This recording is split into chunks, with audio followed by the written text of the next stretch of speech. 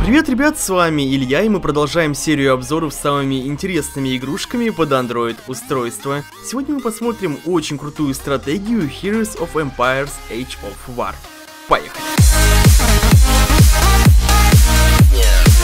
На самом деле не так много выходит в последнее время, и так что данной игрушке лично я был очень рад. Игра содержит в себе, так скажем, взрослую систему развития и довольно интересные сцены сражений.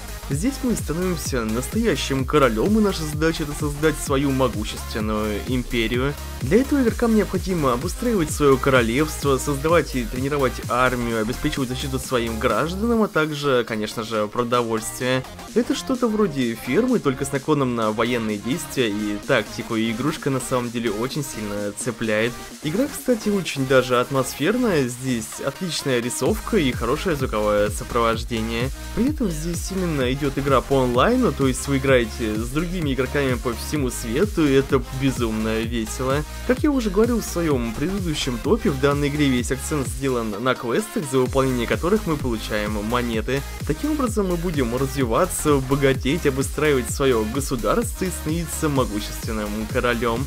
Самое главное, помимо развития, также наблюдать за внешними объектами вблизи нашего царства. Повсюду будет опасность, враги какие-то странные существа, и иногда лучше ударить первым, чтобы военные действия начались не вблизи нашего замка. Это нам позволит отодвинуть боевые действия как можно дальше, и тогда нашим гражданам будет спокойно житься в нашем королевстве. Но в дальнейшем мы становимся все сильнее, прокачиваем свой замок, можем объединяться с кем-нибудь в гильдии, и все в таком духе.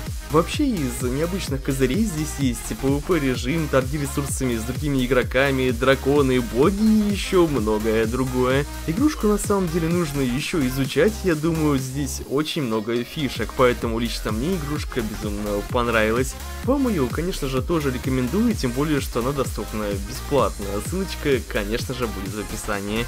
Ну а я, пожалуй, на этом на сегодня заканчиваю. Ставьте большие пальцы вверх, и новый топ не заставит себя долго ждать.